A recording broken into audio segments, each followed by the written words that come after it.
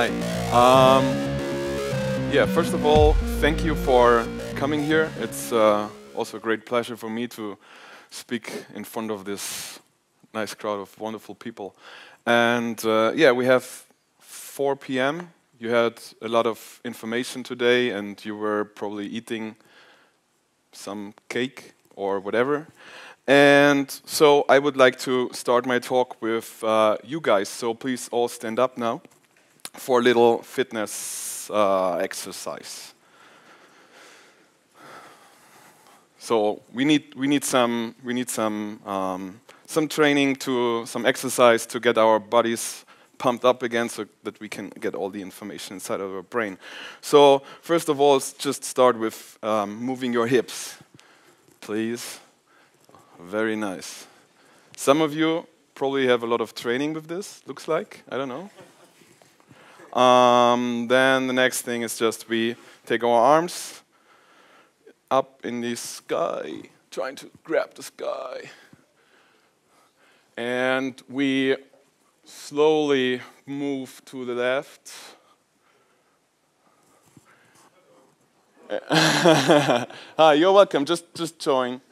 It's fun. And please, please move your arms a little bit lower until you touch the shoulders of your neighbor and give them a little massage, please.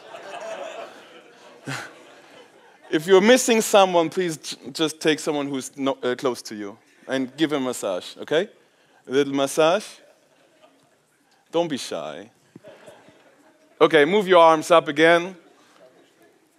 We have we are still in this position, and now we move to the right. And you probably know what's coming now. You will give the other person massage back. Wonderful. okay, thank you. Going back and welcome. Okay, so my talk is about uh, user experience, and I think this is a first example of having probably a nice user experience. I hope so. Um, so you probably ask yourself, who's that dude? Uh, it's me. I'm uh, Thomas, Thomas Gläser so far. Ah, this thing's working better. Um, yeah, you can find me on Twitter if you want. You can make pictures and post something. And I don't know. Um, Ah, cool. Uh, so this is my background. I was working as a um, consultant and of my own design studio, Envis Precisely here in Munich, for uh, about five years. And we did a lot of big projects, a lot of various projects like uh, web applications, Android applications, uh, iOS applications, uh, even interactive installations for Deutsche Museum. You probably have seen it. Um, my, my background before is kind of here still. We were working for BMW for iDrive series, the BMW Online, for example. And uh, yeah, I, I enjoyed this time together with um, my, my colleague or co-founder back then, Philip. He's also here today. Yes. Um, yeah, so, so this is the background where I worked in a lot of different uh, environments as well. So we worked with startups, like this one is Skoobe. It's a Munich-based uh, startup which does uh, ebook flat rate application, for example, or like yeah, with big corporates like like BMW. It's um, yeah, different working experience. Um, so this was a nice experience here. And after that, I moved on to Delightex. This is where I'm currently working as a head of user experience. And uh, we are a Munich-based uh, company which cares about people like you, and we want to um, assist you on your way to personal development and on your self-improvement process. So we are making apps like Coaching Spaces, which, which is a um, virtual um, coaching environment where you can remotely log in with your coach or with some other peer coach or friend and discuss and map out problems and solutions. Or like Push Free app, which works with, with your non-conscious, or like Goal Rocket, which helps you to, um, on your way to reaching your goal, to make your goal-reaching process more efficient. Um, so this is what I'm currently doing. And yeah, the, the talk uh, today is all about UX. This is, by the way, my, my favorite slide today. I just wanted to have UX as big as possible. And um, the, the request came from Thomas uh, from Mobile Tech, and we were talking about which topics and where could I talk about. And the issue of what the UX came up as we discussed like that um, sometimes even user experience is not really 100% clear uh, for some people. Uh, back in the days at Envis Precisely, I had projects where like a developer comes to my site and says, you know, I'm, I'm working in this industry for 15 years, and this is the first time I work with a designer. It's so cool. And I say, yeah, okay, nice. and um, so I still meet people which experience this for the first time. It was the same as I uh, went to uh, Delightex. I was the first designer there, uh, surrounded by like uh, seven, eight developers. And uh, they are all curious what, what you're doing here and how you're working. And so I always had to explain things.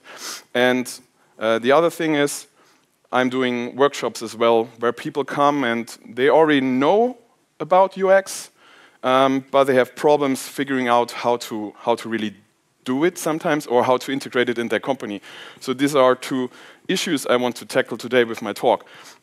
And when I start talking about UX, um, I want to start with what UX is not essentially. And some people uh, still, still get, it, get it wrong. So they mix UX with UI sometimes. You can see it in job descriptions when people search for UX designer. And if you uh, read through, then you see, okay, they just want someone who makes a, draws a nice interface, and that's it. Um, so I want to tell you a little bit more what uh, UX or UI, what's really the difference. So um, very often people think that the UI is the user experience. It's not 100% true, but it's not completely false. It's, okay, it's obvious. The user interface, in most of the cases, it's the, um, it's the artifact which everybody sees. At the end of the day, you have something in your hand where you can look at. And so this is, this is something everybody knows and uh, everybody sees. And it's discovered to be the user experience. Okay, it's, it holds a lot of user experience, but it's just the user interface. And to make it a little bit more clearer, uh, what I mean with uh, that, I have I found a nice example which I liked. You probably know it, I'm not sure. But uh, if you see it as, as cereals, for example, and all the other tools for your on your breakfast table, uh, the, the cereals, this thing what you see here, and, and milk, this is, for example, your content. These are all the functions what you have. And the next thing what you probably need to enter all your content and functionality is the spoon. And the spoon represents the user interface. So this is the tool where I can access uh, the content. So this is the user interface in this moment. And um, there's a nice quote from a Swiss uh, um, font designer called Adrian Frutiger, maybe you know him. Uh, he said, if I can remember the form of a spoon after I finished eating, then the form of the spoon was pretty bad. So this means the, the UI or the tool to access information should be uh, as reduced as possible to uh, guide people to the information, to the content, and not the UI should be the super duper thing. Um, so if we put all the stuff together, content, functionality, how I access information, how I perceive them, and have mm, probably a nice and tasty meal, this whole delicious thing is the experience. That's the whole user experience. So this is the difference between a user interface and, and the UX. And user experience covers all interactions between humans and a product or a service. So this is the, let's say, official or almost official uh, mm, um, definition. Thank you. Um, okay, so to, to, sort out what, what's the um, what's product or a service, you probably know some of these things and they are discovered of having a good experience like Jawbone as a, as a real um, hardware product like iPhone as well, or the Sonos series, where you connect all the um, speakers in your household together via applications. Uh, Airbnb, Uber app, or Spotify are like more services. So these are um, sometimes not really graspable things. So um, this is just like to, to sort a little bit out the difference between digital products and services. But they all have, of course, a user experience. And if we talk about user experience, we have to talk about touch points. Touch points are um, um, describe the points where company and the customer meet. And this means that, for example, as we all know Apple, this is a perfect example where you can see different touch points, uh, and they are all designed. So you see how they communicate with you during their keynotes. This is all designed, and this is, uh, and a lot of people think about what should we tell, how should we tell it to the people.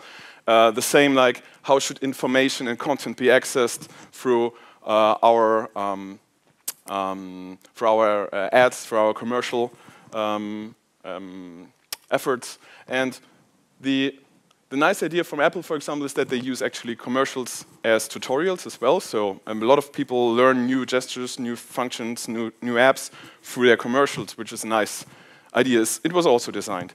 The same like the, the point of sale, the whole store. If you enter a store, where to find stuff, it's also the user experience, how, how to enter this whole functionality and, and so on, as well as how people talk to you. It's not, it's not um, just made up that they all wear blue shirts and that they all speak with you like in this, hey, dude, just buy this iPhone. And oh, by the way, I have another iPad. It's so cool, just buy it. So it's, it's, their, it's their language. This is how they want to speak, how they want to be perceived. And this goes all the way through websites, th through apps as themselves, and the whole unpacking experience as well is how I have this product and I want to um, get it out of the box. How do I do it? What comes first? What comes next? It's all designed. It's all, the whole thing um, happens on different touch points, and the all different touch points form a whole um, designed experience. And to not get it wrong, that UX is about people, not devices. So there are a lot of hardware and technology behind it, but um, behind all this thing, and I think there's a, a classic example of the uh, ticket um, ticket automate for uh, trains, for example, which is always like I think not that very user centered. Um, but regarding all this stuff, at the end of the day, they are people, and uh, people want to um, want to have assistance on reaching some goal. They want to fulfill a task. They want to, for example, he just wants to write an email to his mother, and now he has to figure out why this crappy email software is not really working, and he doesn't know how to attach a picture, and this is all too complicated.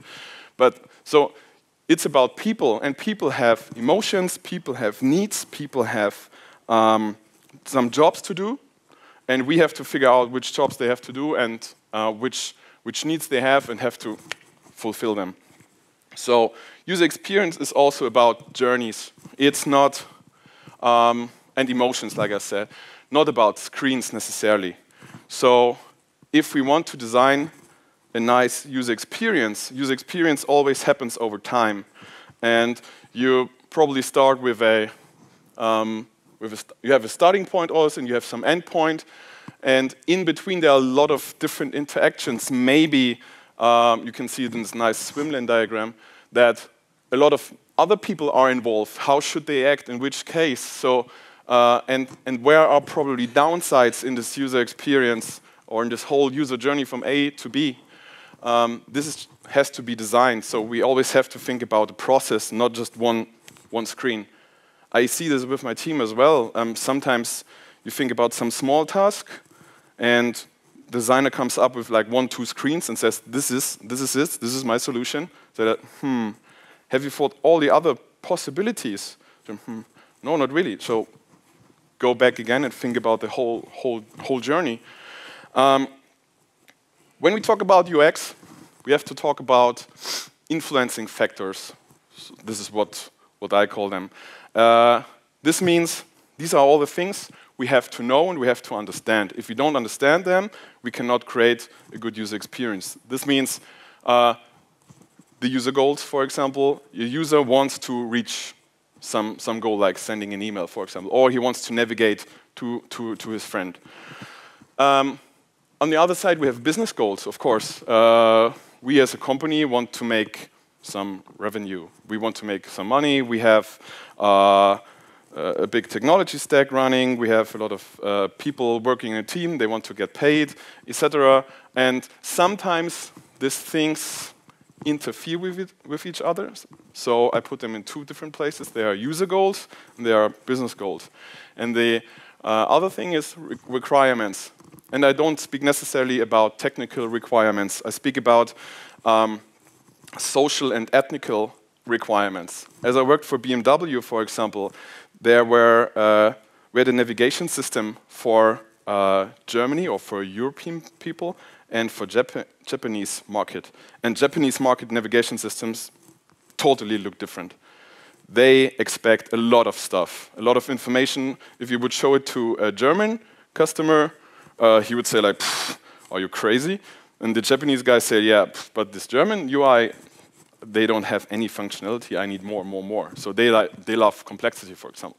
But this is an example for requirements, all the, all the uh, technical, social, ethnical things we have to consider.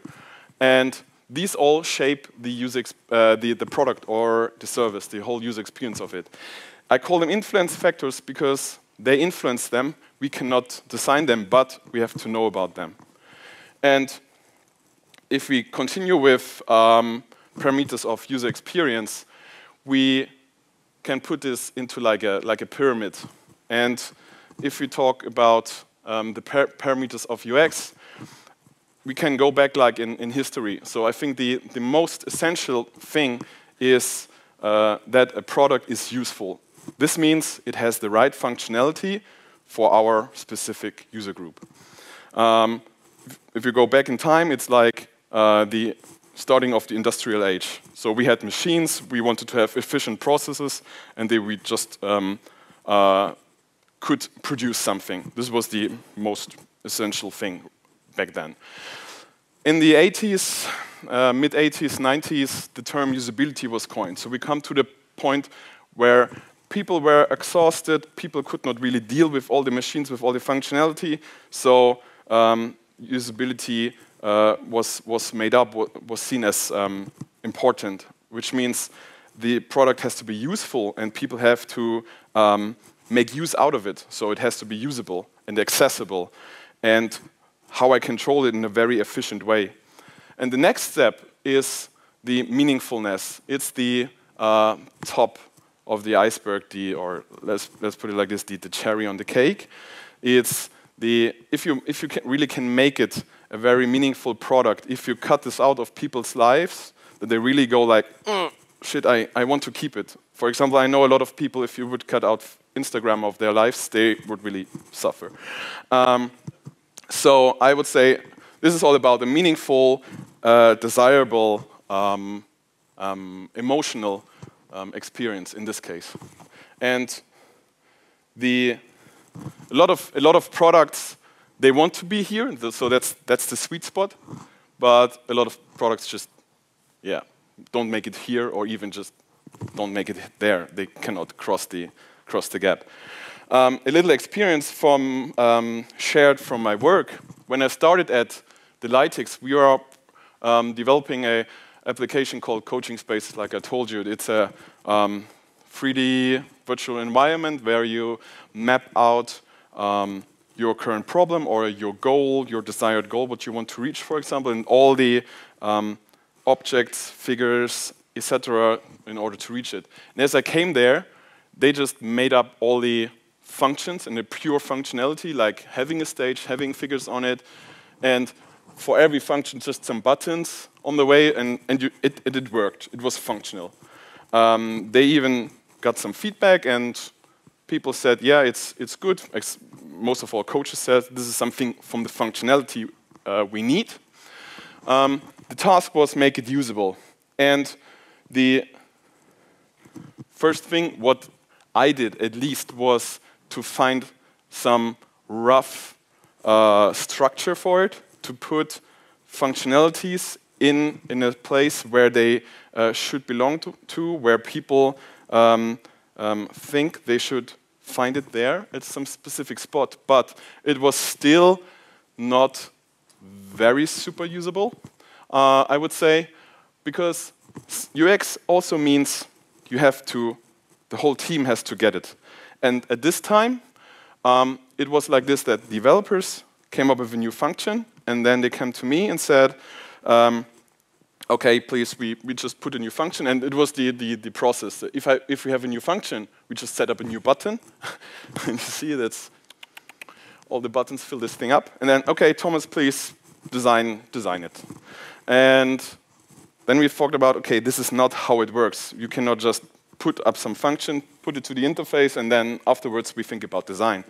So it's also a process of having uh, a user experience design mindset from the beginning together with development. As every um, um, project kicks off, it should be all together. And after some time, we came to this point where we had have a clear structure, where um, we run a lot of usability tests with people, and we have the, the center stage uh, in the middle. We have like all the tools which you need on the left, and the clear layout with all the functionality, like connecting with other people on, on the top. And uh, this was discovered as being usable. So the next step was make it, make it more meaningful. So we thought about some other things we could use, like uh, a function where you can dive into some, some um, people's perspective to see uh, a specific social system from different perspectives of the people while you're diving into them. And uh, this was discovered by, by observing people and how they really do it in real life. So in real life, coaches and, and, and, and coachees, if you go, if you do, map something out together, they do it with wooden figures, and they say like, okay, now look at the whole team structure, for example, from another perspective, not from the boss, look from the, uh, from the employee. And then they point with her finger and on top of the head, and then they imagine how it would feel to look at from this perspective. And then we thought, okay, let's make it real, an immersive experience that you really can dive into. And as we showed this to the first coaches, they were like, whoa, this was not expected, but this is so cool. And this means uh, reaching the meaningfulness level uh, has something to do with um, going beyond expectations. If you can make something, uh, if you can create something what people don't necessarily expect, you reach the, the sweet spot. And they really say like, ooh, okay, I did not expect that your app can do something like this. This is so cool. And then we found out that um, they are using this uh, application not necessarily on their, on their, on their notebook. They use these um, boards with in, in their real face-to-face -face sessions. So we, we are transferring this application now to, to iPads, to mobile devices to have it always with you. And as we showed these first two users, uh, they said like, whew, this is a completely different experience, but, but I like it. But this is much more how, how I work right now. So we are coming closer to, to, to, to the sweet spot with every step. Um, so these are the parameters of UX. And now I want to talk about form factors. Form factors are factors we as, as designers and developers and even managers, we all together as a team, we can shape it. it it's about functionality and content. This is something we can define. Uh, how what is needed and how should it work? How should it look like? Um, is coming next. It's interactivity and it's visuality. So these are the three things we can take care of. And to give you some short examples for it, for example, functionality is, in the case of Dropbox, for me, it's the thing that Dropbox makes it possible for me to access all my files, mm, no matter date, no matter time, no matter where I am. And I always have them on my iPhone, I always have them on my iPad or on my, um, on my MacBook. And this is just, for me personally, a great functionality. Uh, if you go for pure interactivity, it means how can I access something very fast? How can I deal with something? And Tweetbot is a nice example for this because if you are a real Twitter power user, it enables you to, um, to a lot of more functionality and you can get even much more faster than with the normal Twitter app. So this is a great tool for like um, having increased interactivity. Or if I, we talk about visuality, um, if you want to focus more on this spot, the Holo timer is a nice example. It's, I mean, there are a lot of timers out there, but they have a very reduced um, layout, a very reduced design, um, using not that much colors, using not that much different font types, etc. So the visuality um, is something which, personally for me, really works nice, and it has a very nice uh, look, uh, so on. And good design happens in iterations. So this thing always go, goes through cycles. And as we have seen it from coaching spaces, when, when you can remember how it looked at the beginning and how it looked at the, at the end, um, there's, it's a process. Uh, change in your application doesn't happen like overnight and now oof, everything is perfect now. It's, it goes and it's, and it's a complex process. Um, but how do you get there? So I like, the, I like this example uh, of uh, friends of mine, we, they're running a design studio in Hamburg. They're called Precious Forever. And we talked about uh, design processes and how you come from A to B. And actually, where we all agreed was that they said, we don't really see this as a process, it's more like a mindset. So you have three different clusters. Like the one thing is understanding. So through research, through observing people, through asking a lot of questions, you have to understand what's really going on. And the other cluster in the middle, it's the create thing. You create, you set up things, uh, small little prototypes, and you iterate. And the other part is evaluate. You always have to constantly test if you're on the right track. So in overall, this is um, a nice um, mindset um, of, of designer and design thinking. And at Envis Precisely, it started that when clients came to us, they always asked us, like, what is your process? How do you work? And so, so we put all, your all our experience, what we had from different projects, into a so-called UX framework to make it understandable for the clients. And afterwards, we found out that it's even necessary or very good for understanding UX in our team. Uh, and I still use it at Delightex to explain it to, to new employees. And uh, Philip is also using, besides other uh, frameworks, at, at, his work in Mozilla. And the other founder, Marcus, also uses it, it still. So it's something which has relevance. And the UX framework consists of also like three parts. So the one thing in the middle is create. What in this part, you ask questions like, what does it do? Uh, which content do we have? How does it work? This is the create part. And it consists of, yeah, parameters we already observed. So in the middle of everything is always the product or the service. And around this product, we create visuality, interactivity, functionality, content, etc. This is the whole package. And the goal is to expose your work as soon as possible and seek for criticism. A lot of times people um, just wait and wait and wait until they push something out, and then they find out that mm, probably there are some problems. I like this quote from, from IDEO, and this also became some, some mantra of myself. Never go to a meeting without a prototype. And if you look uh, back at my old, this was from last year, picture of my work, working space. And yeah, so this is my computer. And uh, as a designer, you create a lot of visual output. It doesn't necessarily have to be a user interface like you see it here, but also like a lot of uh, new ideas, a lot of um, strategies, a lot of user journeys, etc. And you put them all out, so you have always something to show. And it was interesting when developers came by my place or the, the founder came by my place, um, say like, hmm, what about this idea about the, the new invitation feature and etc. And say, yeah, yeah, this is, this is here. Just just grab it, and then we grabbed it, and we went to, to discussion, like, saying, mm, ah, we couldn't improve something here and there. So it's always good to have uh, a prototype. And what I mean with prototype, I will talk about now. Um, the core essence, or one of the core questions is, what do I need to prove? Because prototypes, they help us to find solutions. And in order to find a solution, I have to uh, know what I want to, to prove in, in a specific point of the process. So it can just start with a rough idea. Um, if you, for example, have an idea, just put it out on the paper, make a little sketch, and this uh, AdLib probably can help you. It's a nice idea of um, packaging it into a, into a sentence, which tells its own story. So you have some product or service, you can even put it for a feature, and this helps. Who does it help? Which people are they? Who's your customer segment? Who's your user segment?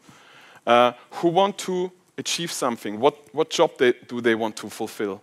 And how are we going to do it? By preventing an action, so like we reduce uh, a lot of time for registering at something, we want to avoid frustration by doing this and that, or we want to promote, we want to increase, we want to enable him to, to do something. Yeah?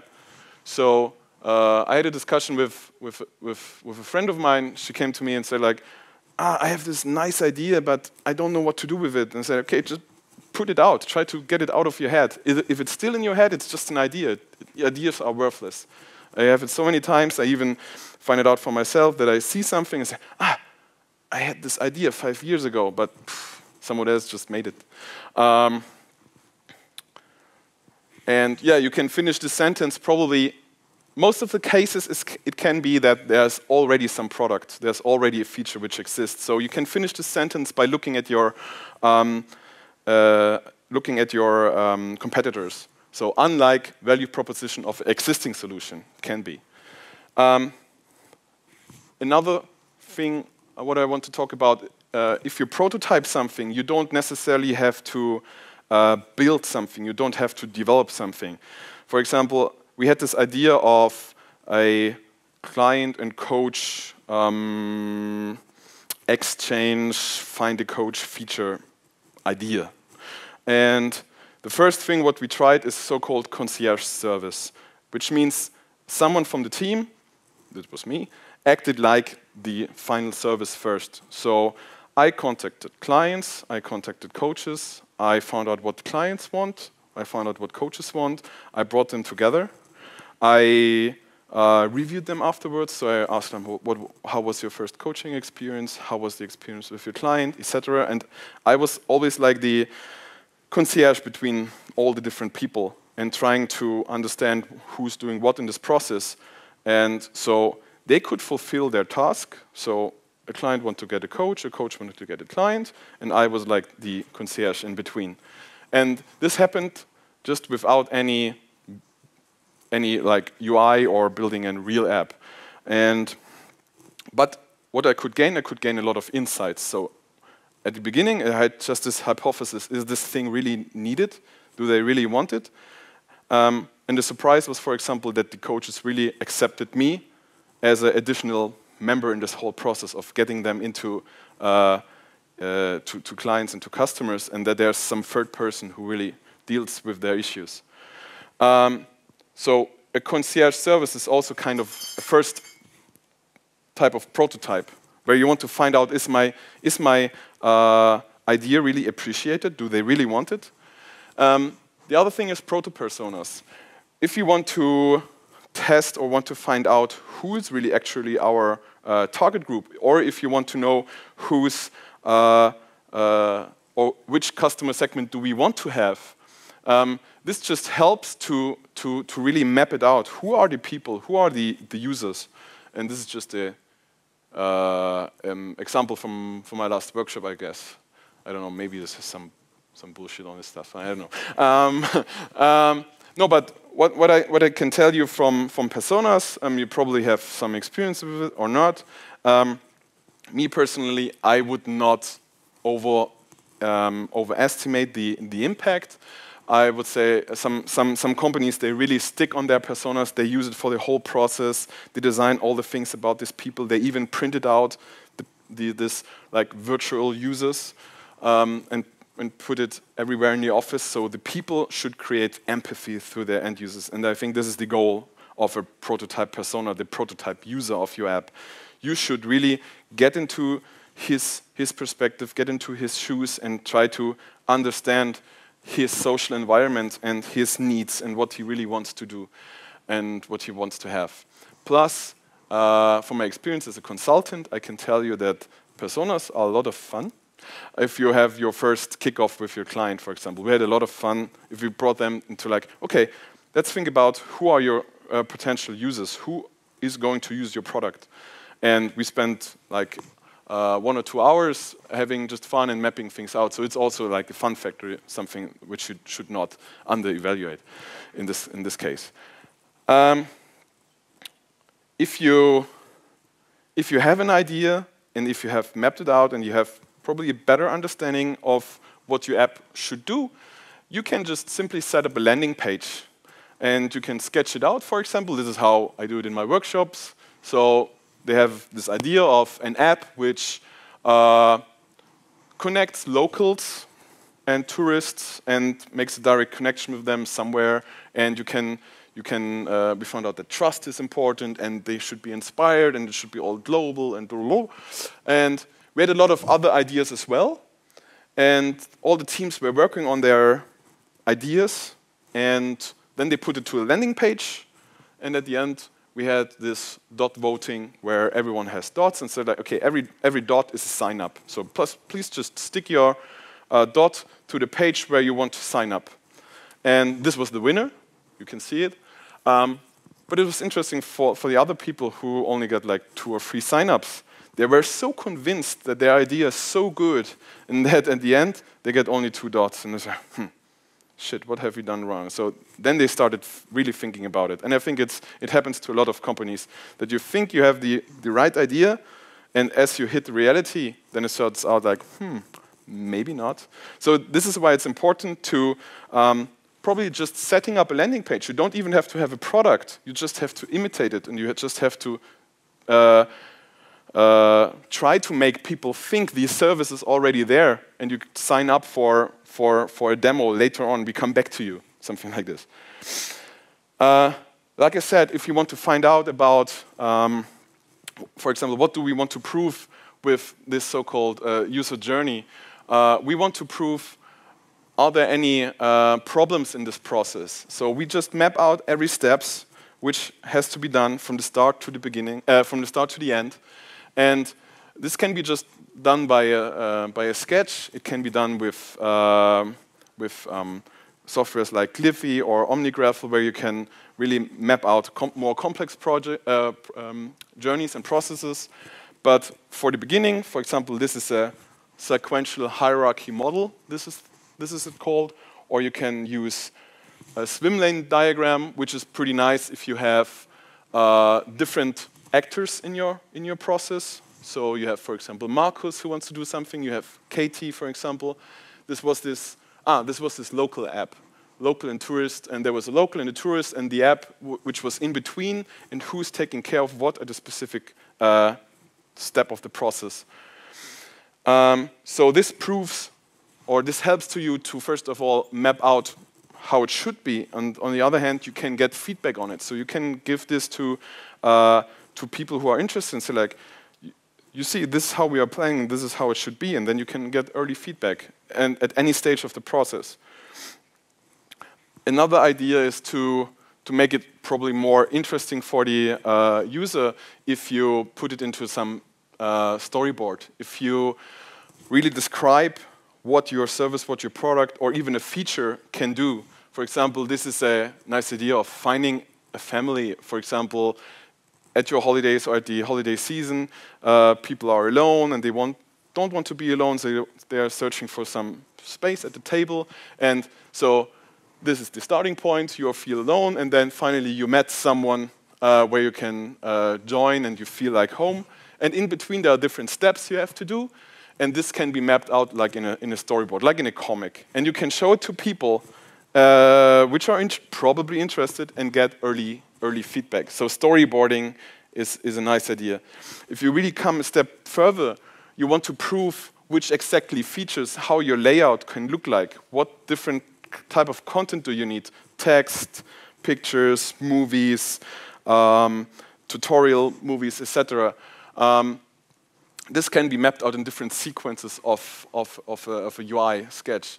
And if you not feel not sure, um, if people don't really get it, you can always make uh, notes and you can, so the UI doesn't necessarily have to explain or have to be self-explanatory. Um, so this, these are uh, so-called screen flows where you have a sequence of different steps in your application. Um, you can put it even to a, to a movie. For example, like BMW did it for the i3 concept. They had an idea, a vision of how the new interface should look like. And what they did, they put it into a movie. So they had a lot of new ideas how the, um, how the uh, menu should look like. They wanted to introduce 3D, all the nice um, effects and visuality and interactivity to this uh, new UI. And what they did, they did a movie just to, to, to see how, how the acceptance is in, in, in their target group. And so this is also a nice idea if you just make a short movie of some sequence and you, you can see how it works. So you want to test how the whole process and whole, whole user flow is accepted. Another, um, and one of my favorites, always a favorite in every workshop, is when we go paper prototyping. So um, if you want to prove your, your current UI and you want to test out new interactions, for example, how do I get from, from A to B? How can I, can I flip something, for example? Or uh, can I, or something like unfold? People get really creative. It's amazing. With paper, you can do a lot of things, and it, you are not limited by some, some specific tool. It's just uh, a pen, paper, and, and some scissors. And, or you can create a, uh, um, a, process where you slide something through your iPhone, and you can click on this, and things pop up, etc. All the UI patterns, all the uh, things from your user interface is you want to get uh, early user feedback on your user interface and all your interactions. Just set up a paper, paper, prototype, give your um, user some, some task, and just test it it's, it's enough for a first uh, paper prototype test. And this, for example, was my first paper prototype for, um, for coaching spaces. When I came there, I think it was already in my second week or something. I, I just mapped out everything what we have. And for every function, for every functionality, uh, I thought about some process and I thought about some how could I package this whole information in, in a specific architecture. And then I just mapped out different uh, UI elements and arranged them all on my table. And thought, okay, in which situations do I need what? Okay, for example, I want to place something on the stage. Then probably I need a library of objects. Okay, then the object library came in. And then I grab something and put it to the stage. Then maybe I want to um, uh, change parameters. I want to edit this thing. Uh, so the, the parameter object comes in, etc. So you can map it out for yourself as well. So you can paper prototype, uh, or you can really kind of set up a uh, click dummy, which means you can just sketch something out, and there are some nice apps where you can just photograph all your first early sketches and put it all together and make it clickable. The apps are called like uh, one is Pop, you probably know. Who knows Pop?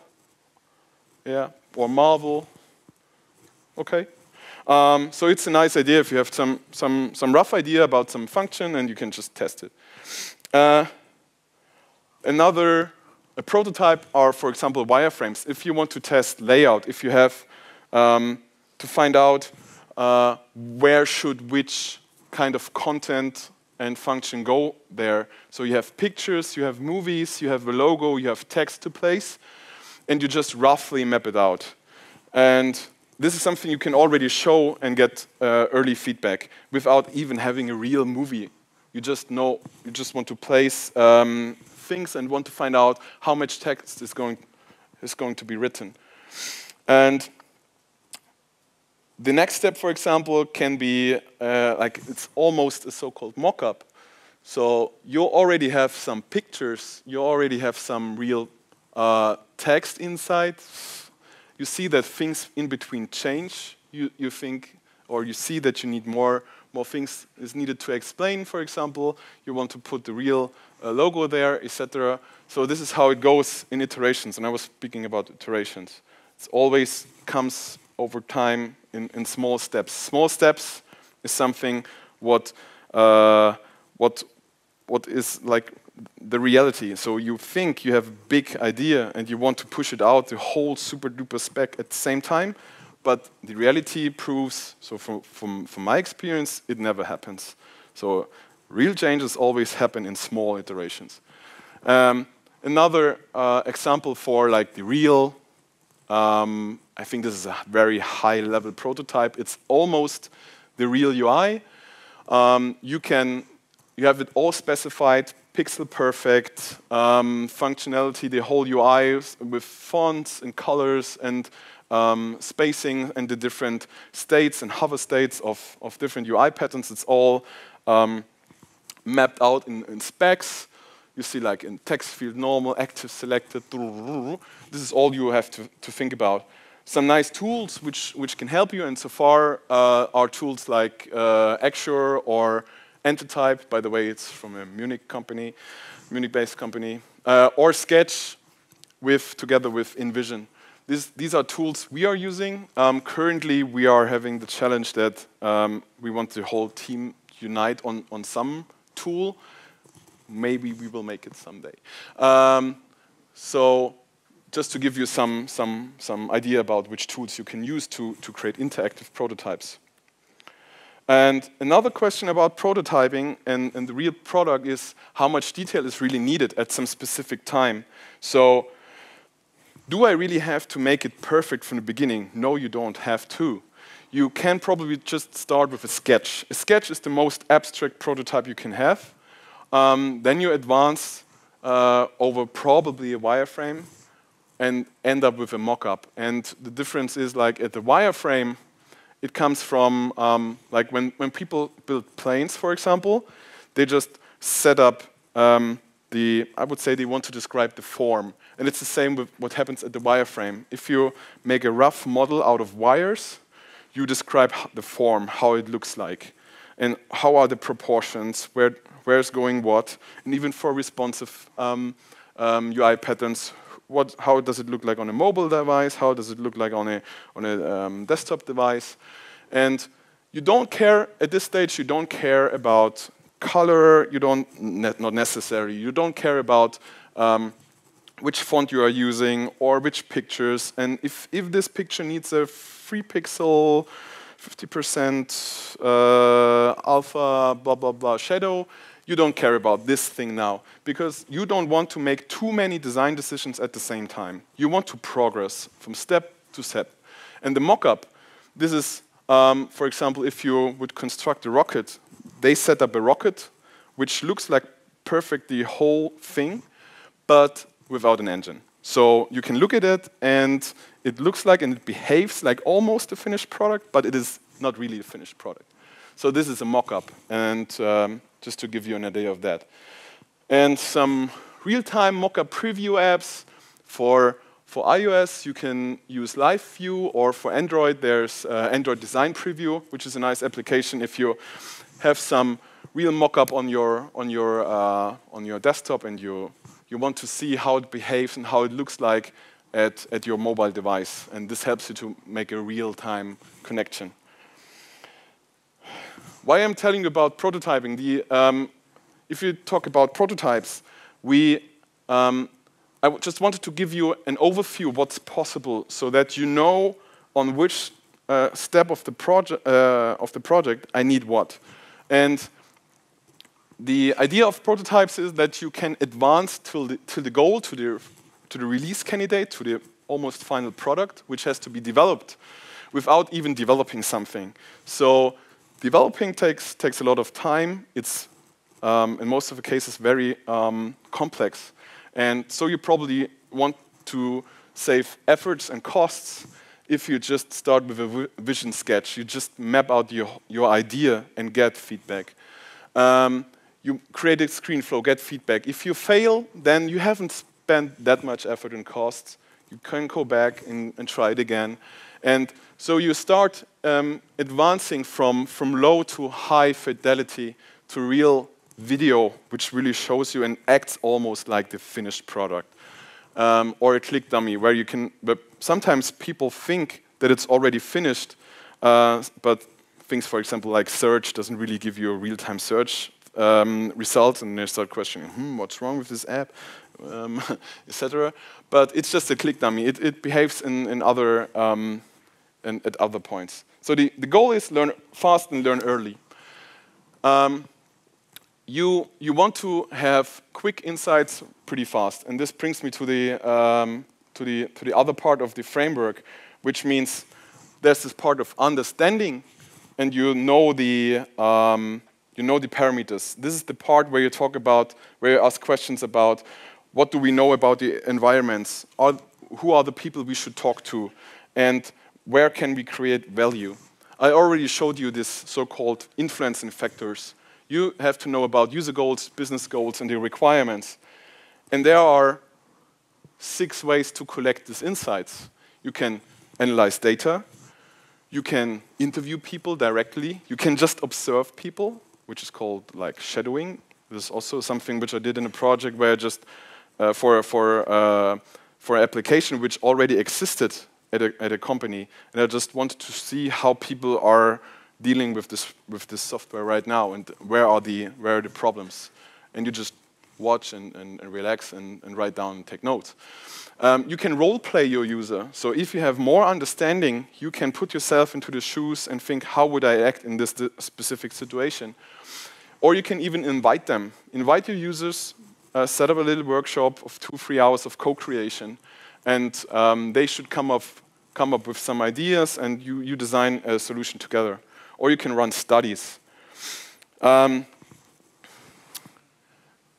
one of our favorite, uh, and my, or my favorite um, um, um, method to, to collect insight is an interview. And one of the eye-opener was the, uh, the book called The Mom Test, where, um, where they say you don't have to, or you better not ask people for their opinion or you better should not ask people of what you think uh, they could do or would do or could and, so on. So this is just too hypothetical. And if you ask people, for example, like, how do you like my new idea? And this is something uh, I, I, I, did a lot. I asked people in, back in the days before, was, how do you like my idea? And then they said, yeah, it's perfect, it's great, it's super, go for it. And, and then I, uh, we, we did something, and then we found out mm, people not really liked it. Why? Are, are you lying to me? And now I show it to you, and you don't like it? Um, because we missed out what they really want, how they really act. And all the other questions, like, could you think about using it? It's a very bad question. Like, could you, would you? it's too hypothetical. What we are really striving for are questions like, can you talk me through the last time that happened? Or can you talk me through your workflow? You want to get an understanding how people really work. If you want to know how they work, um, ask them to, to guide you for, through the process.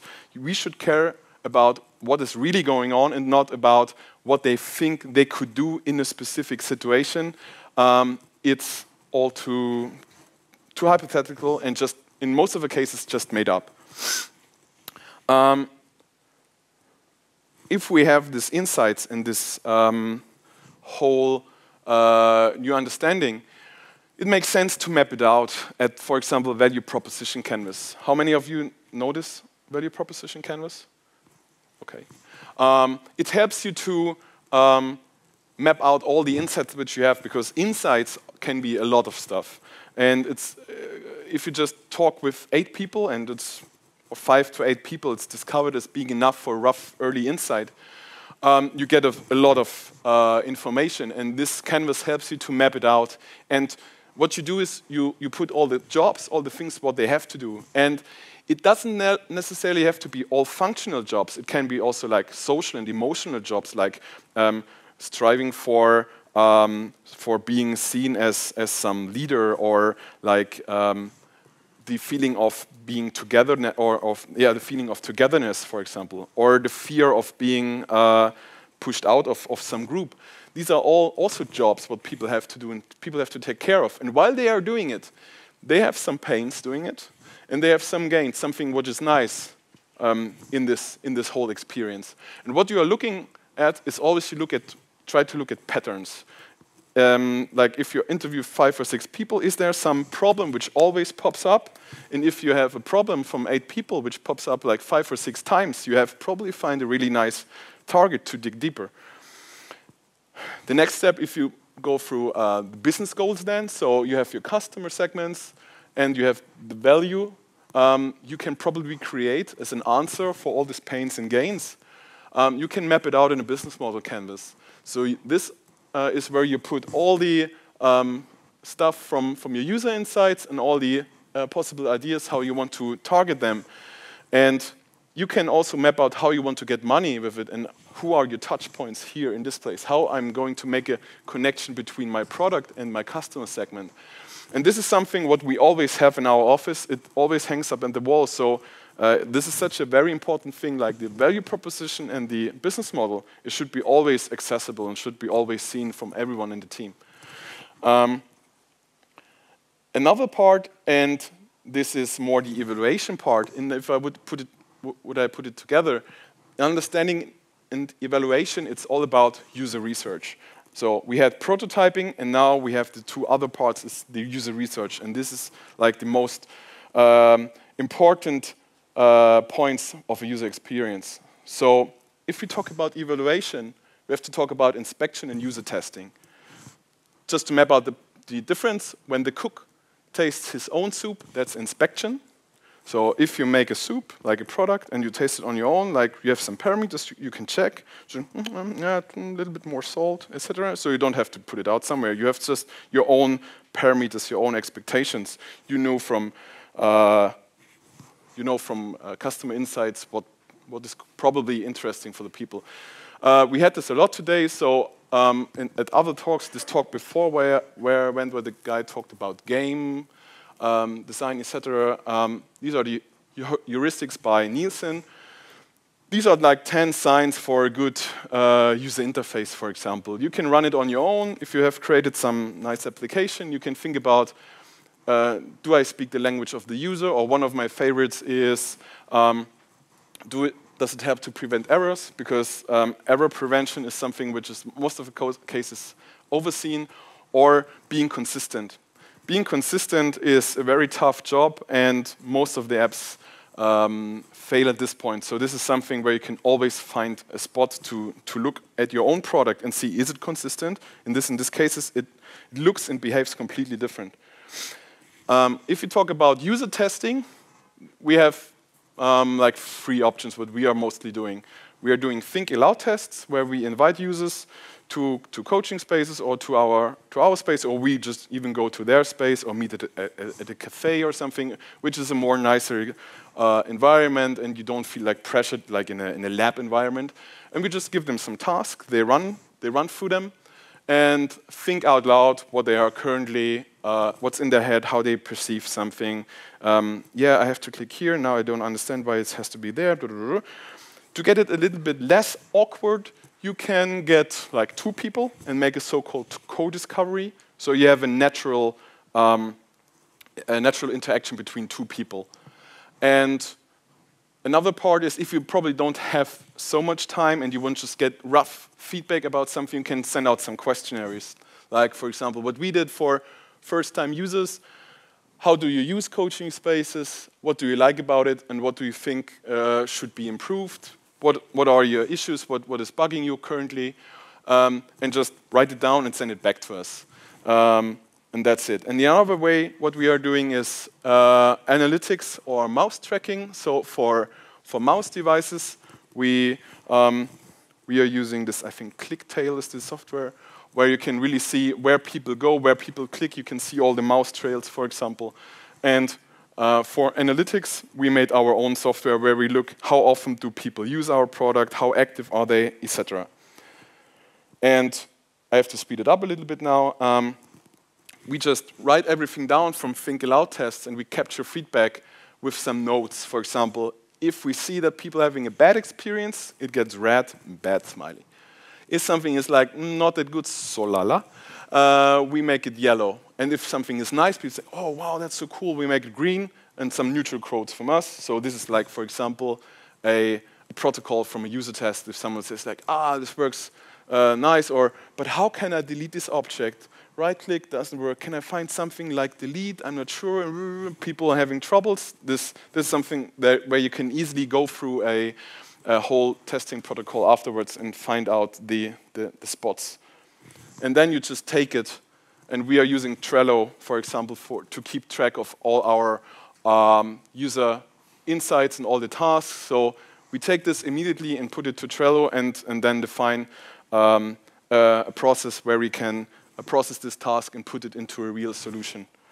So some tools to um, get user feedback, for example, if you are not at the same place and you want to record something on your desktop, we use Camtasia Studio to, to record the whole session, for example, and to see what people are doing.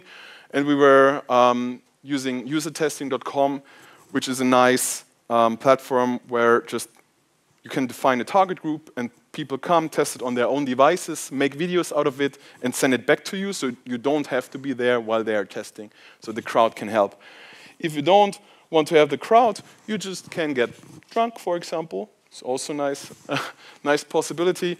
I can tell you the story that I had this thing when we had the party at, at Envis Precisely, and I had to finish up some, some, some screen flows of, of a process, and then I went back get myself a little bit drunk, just a little bit.